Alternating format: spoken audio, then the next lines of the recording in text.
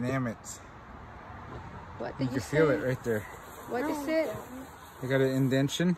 Oh, It's for the fin, the for aerodynamics. yeah. There's a, like a Cut out the eyeball. look at their eyeball. It's Oh. so big. I'm not cutting out that eyeball. Why? She might force me to eat it. One for the other side is for him.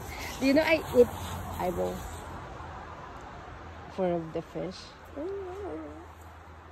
They're hard.